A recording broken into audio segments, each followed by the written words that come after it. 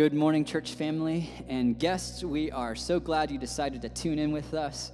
Um, we're going to sing a song and uh, about welcoming the Lord's presence among us. He is here already. His Spirit resides in us, but we are just asking Him to make us just so much more aware uh, of His presence and His nearness. So let's sing this song and as a prayer and as a uh, just a cry of praise to the Lord.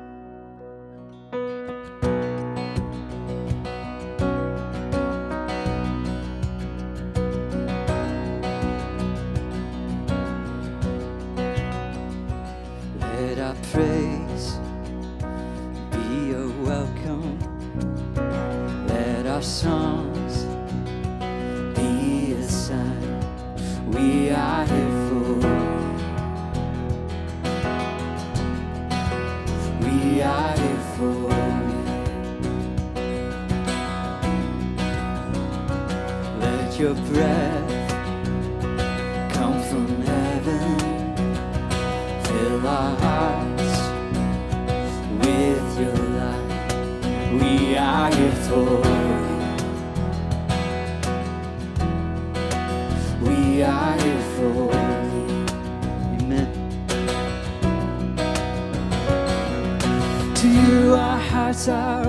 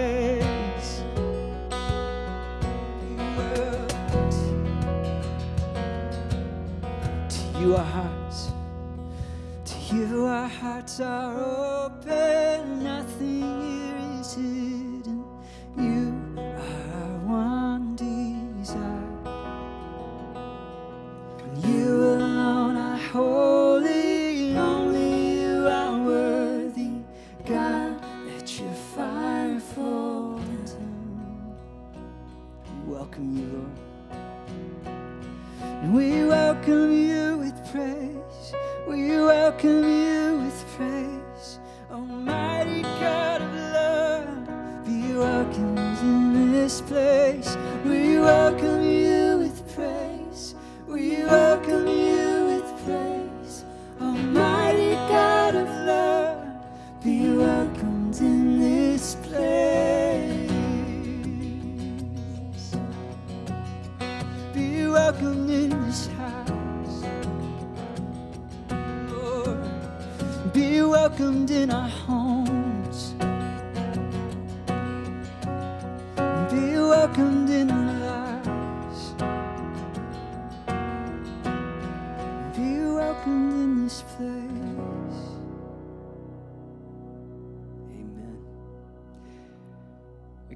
so good to have you join here uh, with us on, on this online service.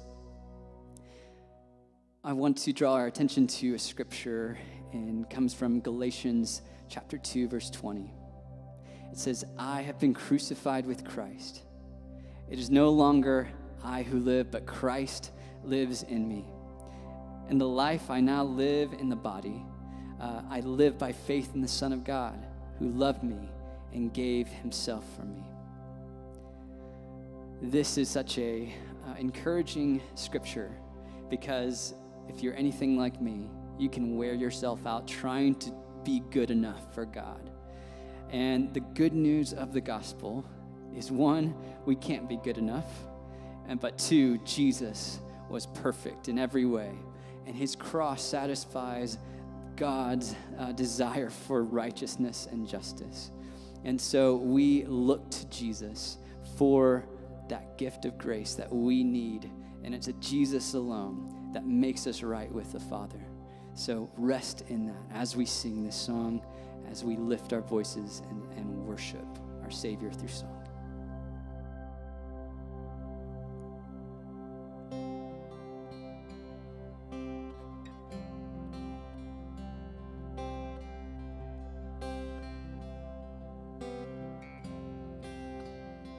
What gift of grace is Jesus, my Redeemer?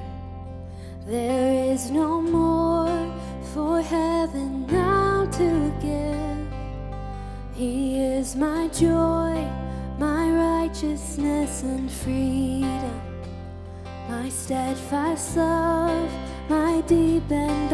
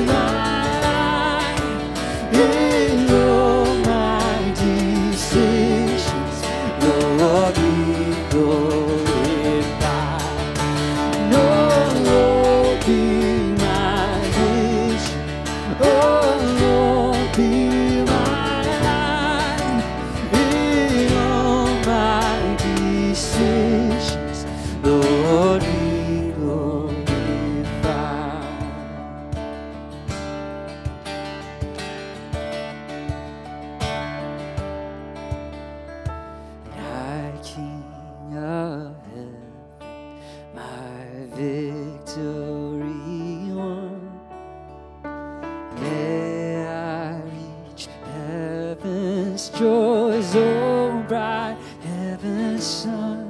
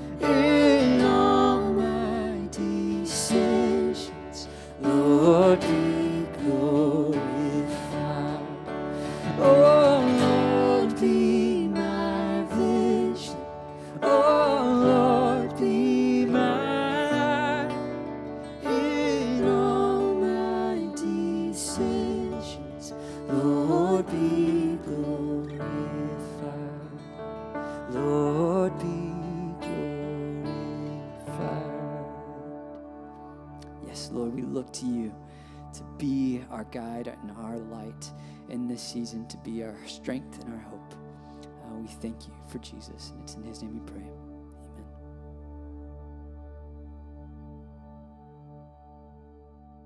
Good morning, church. Uh, my name is Alex, as I've been introduced, and I'm so grateful to God for this opportunity to come before you and share in the Word of God. And I pray that after our little time together tonight or today, that you will be encouraged, uh, that you'll be strengthened in your walk with, with Christ, and above all, that we look forward to a new day with God being on our side. Tonight, I come to speak to us. The title of my message is Be on Your Guard. Be on your guard. And our text for tonight, we are reading from the Gospel of Luke, chapter 17, verses 1 and 2. Now, for context, you can read verses 1 through 4. But for my discussion tonight, I'm going to focus on those two verses. And I'm reading from the NIV version. It reads like this Jesus said to his disciples, Things that cause people to stumble are bound to come, but woe to him through whom they come. It would be better for them to be thrown into the sea with a millstone tied around their neck than to cause one of, the, one of these little ones to stumble. You know, have you ever found yourself on a freeway and somehow, as you're heading to destination, you run out of gas? It is a terrible feeling. Your anxiety levels can, in just a matter of seconds, rise from zero to 100. But how is it that someone can run out of gas on a freeway? You know, cars by design have instruments to warn a driver when something's going wrong. And on each, in each and every car, there is a fuel gauge. It won't show you how much gas you have left, but by estimation, it will show you relatively what you have left. And before a car runs out of gas, the fuel gauge, the fuel gauge warns the driver. Right? So if you find yourself out of gas on a freeway, there are two possibilities. One is you never paid attention to your fuel gauge at all. Or if you did, you ignored the warning. Right? In our world today, so many tragic things are happening. And when they do happen, we ask questions. Why did this happen? And if in the process of finding why it happened, we discover that it was foreseeable that this occurrence would have been avoided, then we switch our question from why did it happen to what did we miss? An examination or investigation into what was missed always reveals that prior to the incident, prior to the tragic incident, there was ample warning along the way. But the people who were in a position to prevent the tragedy somehow didn't do anything. And so we find ourselves where we are at, dealing with the aftermath of a tragedy. So, these two examples reveal one thing to us, and that is, as human beings, we are not out of warnings. Our problem is not that there's no warning. Our problem is that we never pay attention to warnings. And so, as we go through our text and our discussion tonight, Jesus is warning us about something. And it's my prayer that we take this warning serious. It's my prayer that we take these warnings serious. Right? So, before I go into the specifics of this warning, I want to talk about the relevancy of this warning. Who is Jesus warning?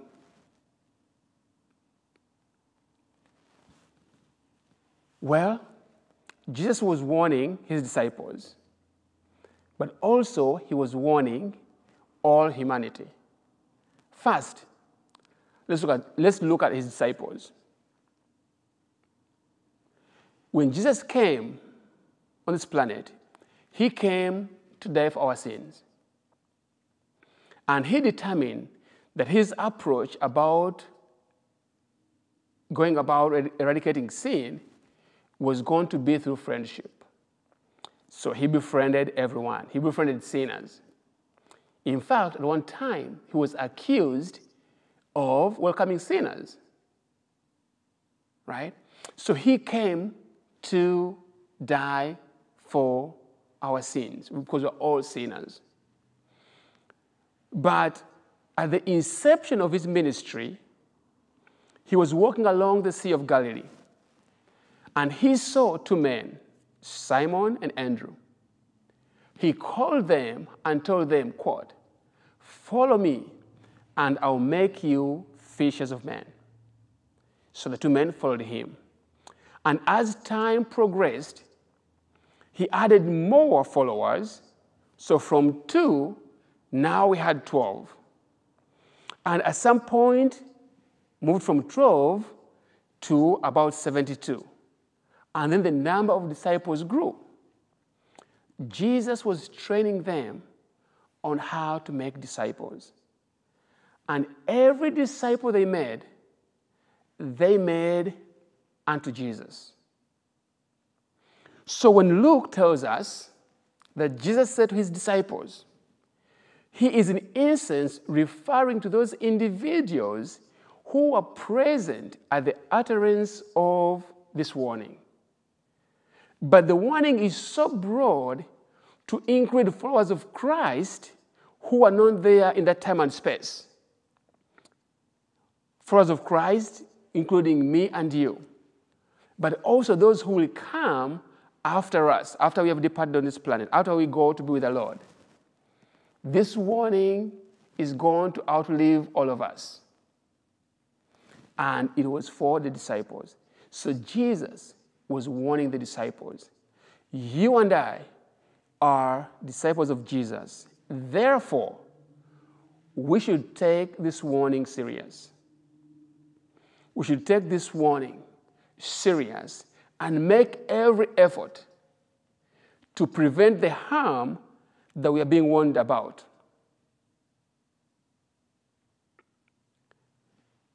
Jesus, in this warning, he was warning all people. And how is that so? If you look at verse 1, he says, Things that cause people to stumble. The key word is people. The key word is people. Not just the disciples. So if you belong to this generalization of humanity called people, then this warning is for you as well. Because Jesus cares for you, Jesus loves you, Jesus wants you to be safe. Every warning has an element of scare. And may feel like someone is scaring you. But in this case, we are not being scared. We are being warned to be spared of harm. And every warning is about that. So he is warning people. And if you're a believer of Christ, he's warning you. If you're not yet sure, still he is warning you. You know, God causes the sun to shine on the godly and ungodly. He causes the rains to rain on the just and unjust. Just as that is true, even God's warnings are for those who believe in Him and those who don't believe in Him. So I pray, do not be so quick to dismiss this one because you may say, well, I don't believe in Christ, therefore I don't care. No, no, no. I pray, do not dismiss this warning because it is for your benefit, it is for your own good. Jesus has a deep concern for your spiritual as well as social welfare. That's why he's warning you. So now, as we look at what Jesus is doing in this text, I mentioned before that he loves us so much. The Bible says that Jesus one time told his disciples, I no longer call you servants, I call you friends, because I've revealed everything to you that I've heard from my Father. So, the revealing of what God is telling to Jesus, to us, he is doing so under the guise of friendship. He also said that there's no greater love than for a man to lay down his life for the sake of his friends. Again, he came to die for our sins, all of us collectively. That means he is our friend. He is friends with me, he is friends with you, even though you don't believe in him. He is friends to you. Amen. His approach of dealing with our sin was through befriending sinners. At one time, he was condemned. The Pharisees accused him of eating with sinners, welcoming sinners. Jesus befriended sinners not to engage in their sin with them, but rather to rescue them from sin. He came to rescue us from sin. So, what I'm going to do in this next moment, I am going to make an observation about friendship in this context, as the scripture reveals. Okay? Friendships. There are lessons in here that you and I need to bring in our interactions every single day. One, friends owe each other duty of care. Friends owe each other a duty of care. What does it mean? So just imagine if you're going through a serious, severe hardship, your world is unsettled, you're trying everything you can to alleviate the stress. But while you are doing all that, trying to be free of the pain, trying to be free of the stress, somehow you learn that your friend, your friend, your close friend, the one you hang out with, share meals together, share laughter together, share stories together, share secrets together, your friend with whom you even have a common hope you learn that this friend of yours knew about the things that contributed to your pain or your hardship. He knew the harm that would result, but yet, all the time that you hung out together, he never took any moment to warn you.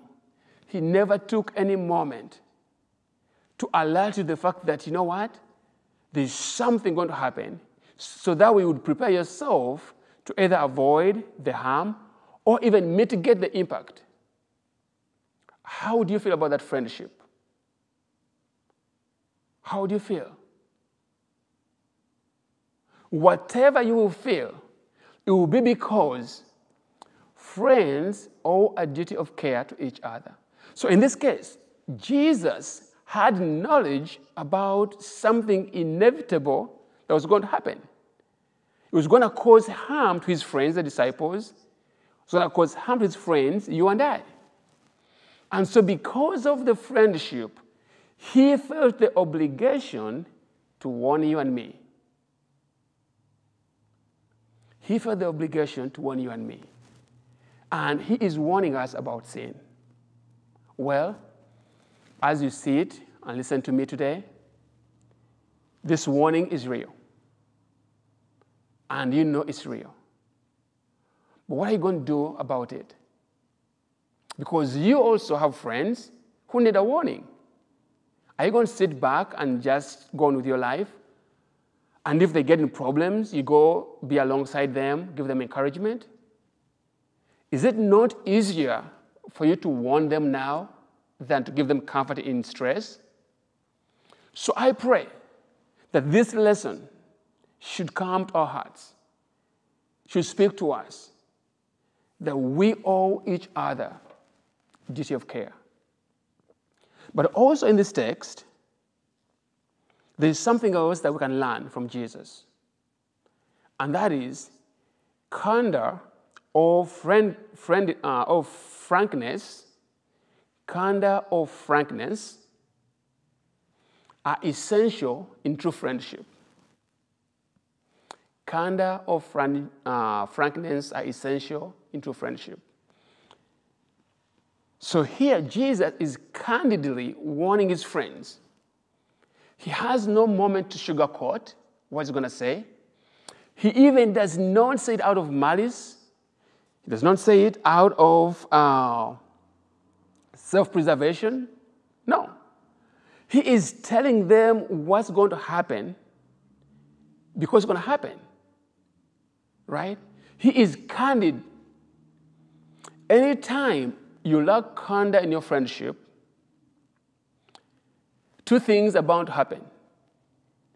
One, your friendship is going to be built on false expectations because you're not up straight with what you're offering or you expect. Right?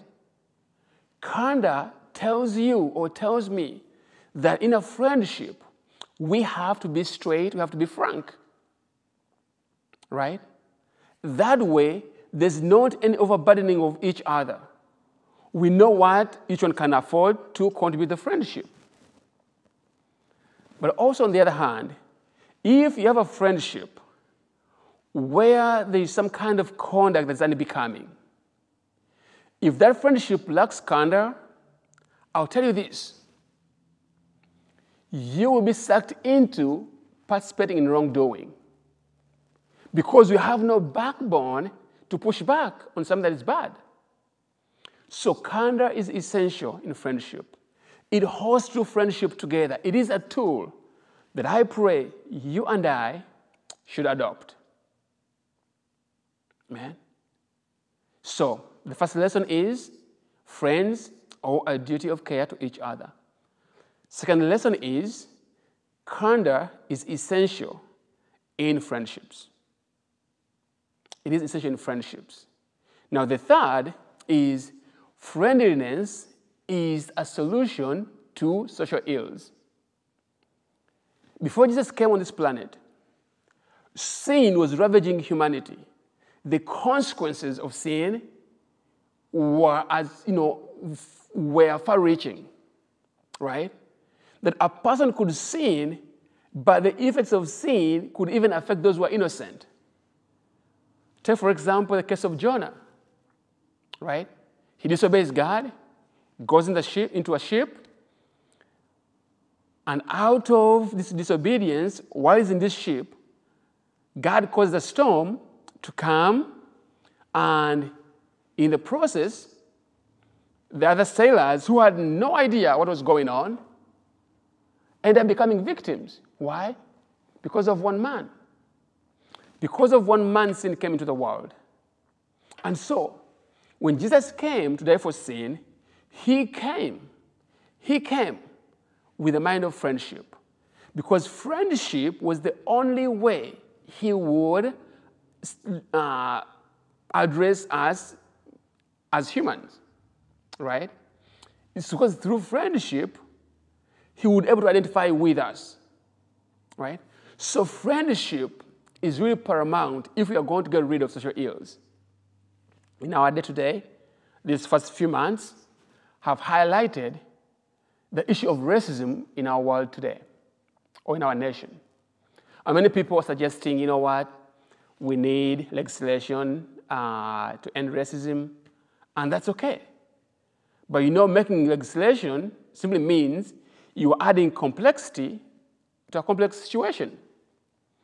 And anytime you add complexity to complexity, you're almost creating confusion. Could there be a simple answer to these problems? I think there is, and Jesus is showing us what it is. Because sin is a social plague, and racism, in my view, is a social plague, right? And they have something in common. What they have in common is simply this that they are all, or they both emanate, they both rise up from the heart, right? And so, to solve these problems, I truly believe the friendship or friendliness is going to be essential in dealing with racism. Friendliness has proven so far to be effective in dealing with sin, so it's not far fetched that my assertion holds some substance. But again, let's try it out. Let's see the outcome. Friendship, friendliness is so important in our world today because friendliness is the only thing can help a person overcome the fear of a stranger. Some are different for themselves. If they become friends, that fear will go away. So let's try it out. So now, I digressed a little. Let me go back to the substance of our discussion. What is Jesus warning us about? If we want to find out what this warning is all about, we have by necessity, we have to be willing to travel back in time, specifically to the time during creation when God created humans. In this case, creating man. Bible says, God created man. He formed him from the dust of the ground. He breathed upon man and man became a living soul. This act of creation established a relationship between God and humans. This act of creating man established a relationship between God and humans. But then, if you read Genesis 2 down further, you find that God said, you know what? It's not good for man to be alone he needs a helper. So God created the woman, Eve. So the creation of Eve in the story of creation means that God established a relationship between human and human, basically human to human. So we see in the creation of humanity, God did two things.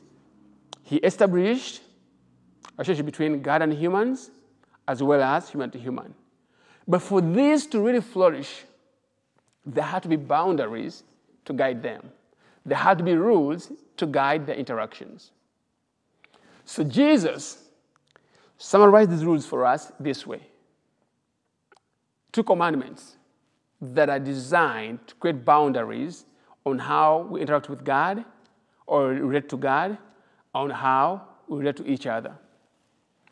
The first is love the Lord your God with all your heart, with all your mind, with all your soul, and strength. I may have gone wrong with the order there, but that's what it is. Love the Lord your, love the Lord your God with uh, all your heart, soul, mind, and strength. And second commandment was love your neighbor as you love yourself. So when Jesus warns us that things that are things that cause people to stumble are bound to happen. he is referring to any attitude, to any thought, or any action that violates those two commandments. That's what it's about. And in this entire universe, there's not anything out there that can violate these two commandments except sin. S I N, sin. It's the only thing that can divide a wage between man and God, all human and human. Sin is the only way that can do that. So, Jesus is warning us against or about sin. Sin is always around us. Temptation to sin is ever increasing, ever present. So we have to be on our guard that we don't sin against God. We have to be on our guard that we don't sin against each other. But also in this text, he says, But woe to anyone through whom these things, sin, come. Woe to anyone through whom sin comes. So, in other words, we are also being warned about the consequences. So, we are warned about sin and then about the consequences. There will be dire consequences if we give in to sin, right? So it's prudent for you and me to avoid sin, to be on our guard.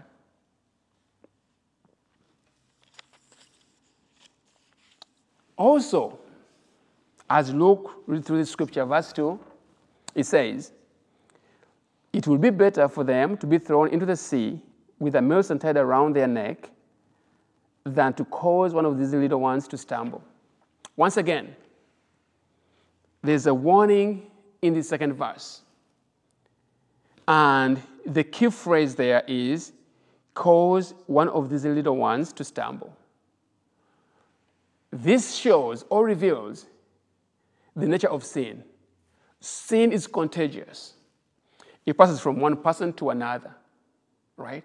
So Jesus is warning us to be very careful, not just about sin itself, but now, because it's contagious, we have to be mindful about who our friends are, even what we listen to, right? What we're being taught, either their example or their doctrine. We got to be on our guard. If we are going to prevent ourselves from being misled, or if you are going to avoid misleading others, be on your guard. And finally, Jesus is warning us about one reality that temptation is going to be around us till we go to be with our Maker. So don't take things for granted. Be on your guard. Temptation is all around us. Wherever we go, you can switch locations, it doesn't matter. It will still be there. It will still be there. So we have to be on guard. Now, why is Jesus warning us? Yes, we know about the, the sin issue, we know about the consequences. Why is he warning us? And I'm going to propose two answers that are not explicit in this text, but I believe they align with avoiding sin. One, Jesus is warning you and me so that we don't become complacent. You know, many times as Christians, when you read your Bibles, when you go to fellowship, there is a feeling that comes and overtakes us where we feel that we have made progress in the Lord, which is true. But sometimes that feeling may be overblown, whereby we become so content to begin ignoring the things of God. We become complacent in a way, right? And in those moments, we are vulnerable to sin, right? Complacence is dangerous. We don't want to be around us. So be on your guard that you, don't, you do not become complacent in your walk with God. But also, Jesus is warning us not to be presumptuous. Right? Presumptuous simply means this that we get so contented that we begin to overstep our boundaries. So God gives us an instruction to do something and do something probably opposite to what He told us to do.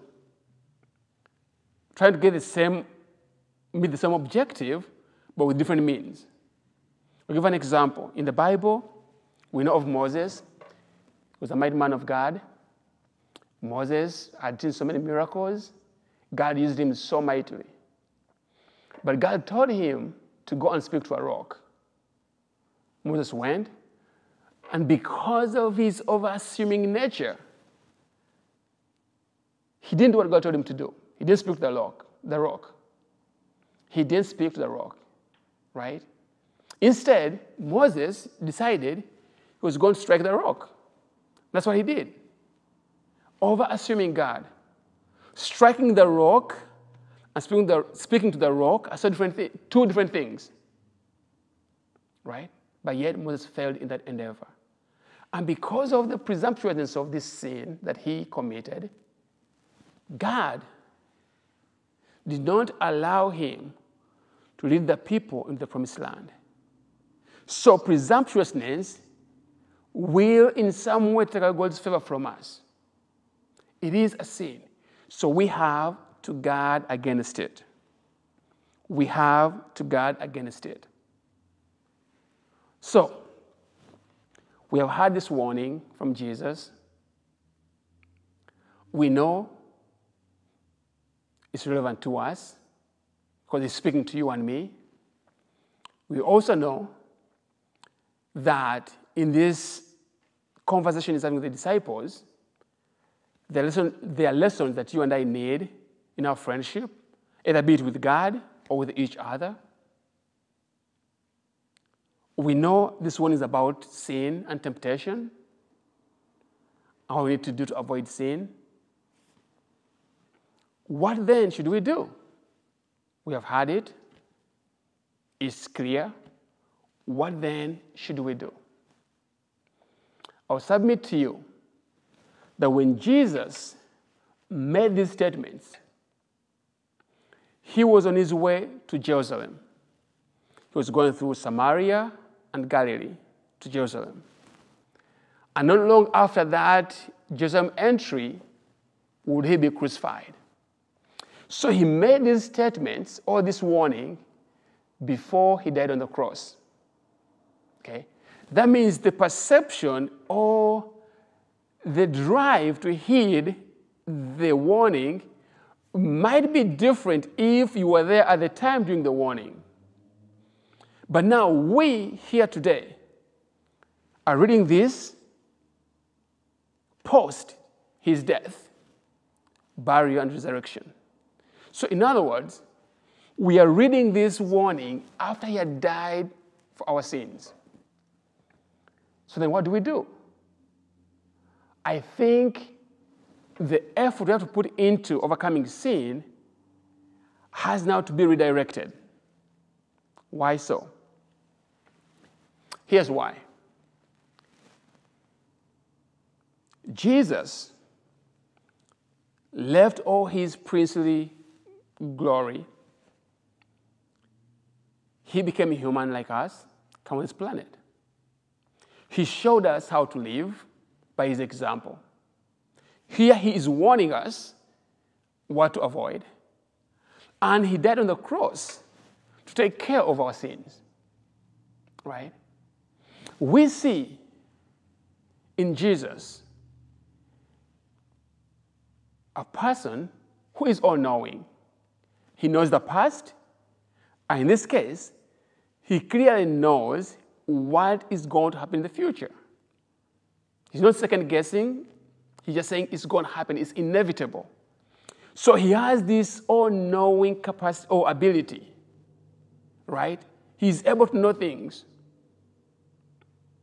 right? But also, we know he was human like we are, which means that he knows our weaknesses, he knows our struggles. He was tempted like we are tempted. Sin and temptation was always around us and was always around him. So there's nothing new they can't understand. Right? So if he knows everything, if he knows our weaknesses, and if he is the answer to sin, what should we do? I will submit to you that among all the things, the primary thing that we can do is simply this. We bring ourselves to give our lives to Him. Bring ourselves to fully, not partially, to fully give our lives to Him. And after giving our lives to Him, we should command ourselves to follow His instructions, to follow His commandments. That's the only way we're going to overcome sin. Temptation is around us. Right. It won't go away. It will always be where we are. But if we're looking to Christ, if we are trusting Him, and if we are obeying His commandments, He will enable us to overcome temptations. Bible says that He was tempted like we are tempted. And when temptation comes our way, God is faithful. He will provide a way of escape. He will provide a way of escape. So you and I have an obligation is to look and see what God is doing, what doors is opening for us to escape sin. And if it is that we cannot see those doors open to escape or run away from sin, we can say this one prayer God, open our eyes that we might see the door to escape sin. God, open our eyes that we might see the route, the door that you have opened for us to be able to escape sin. And this God that we believe in, He is faithful. He will reveal to us, He will show us those doors. And I pray that when the doors open and we see them open, we'll have the strength to walk through them.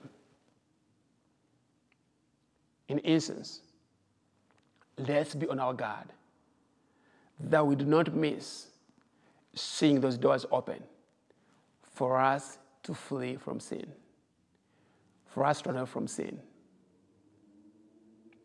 And with this, I thank God for you. I thank God for the time you've you know, taken to listen to me. And I pray, and I pray, even as we depart, you will, take some, you will take some time to think about this text. Read it over and over again. Perhaps God may show you some things I've even shared today. There's so much in there in this text. But all in all, I just pray that we should take this warning serious. We should take this warning serious. Be on your guard. May God bless you. Well, a huge thanks to Alex for bringing the word today from Luke chapter 17. Um, I just wanted to remind you all right now, we're about to have a family meeting on Zoom. So if you're on our email list, you would have gotten that uh, invite, the information on how to log in. We have some really exciting things uh, that we want to share with you, uh, both about our reopening and about uh, some of the things that are happening in our building and others as well. So uh, please go ahead and, and as soon as you're done here, go ahead and log on there. If you didn't get that info, you can send a message, us a message right now and we'll get that to you. And just in about five or 10 minutes, we'll be starting uh, that family meeting. So God bless you all. If you're not able to make it, have a great week. Uh, but for the rest of you, I hope to see you in just a few minutes.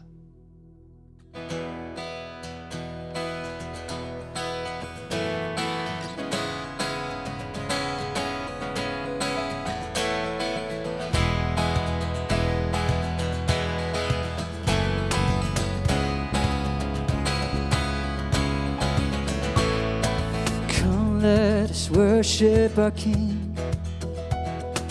Come, let us bow at his feet. He has done great things. And see what our Savior has done. See how his love overcomes. He has done great things. He has done great things. Oh, hero of heaven, you conquered the grave. You free every captive and break every chain. Oh, God, you have done great things. We dance in your freedom, awaken alive. Oh, Jesus, our Savior, your name lifted high. Oh, God, you have done great things.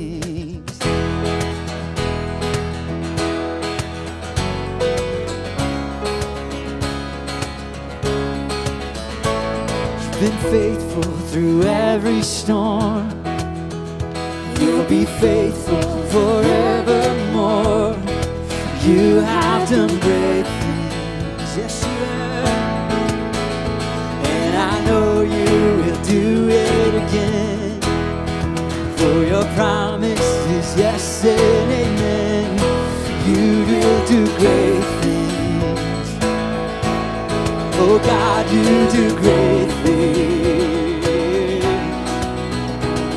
Lord, hero of heaven, you conquer the grave. You free every captive and break every chain. Oh God, you have done great things. We dance your freedom, awaken alive. Oh Jesus, our Savior, your name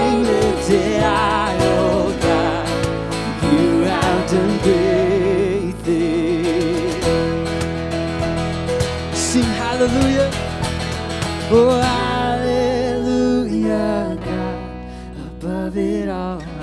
Hallelujah, God, unshakable.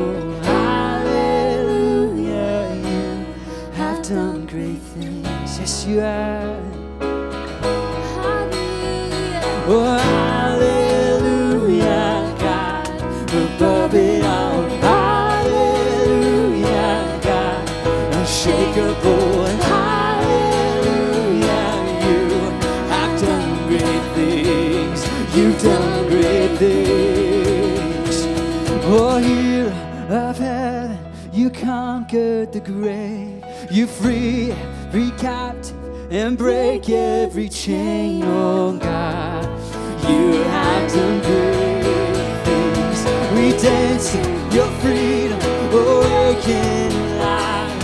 Oh, Jesus, our Savior, your name lifted high. Oh, God, you have done great things. You have done great Oh God, you do great things.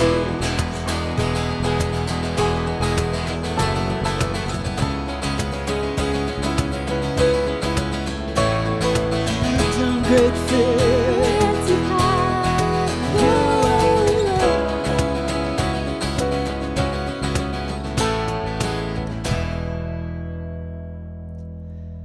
Amen. Hallelujah. Praise the Lord. We are so grateful you joined with us today. God bless you guys, and God be with you this week.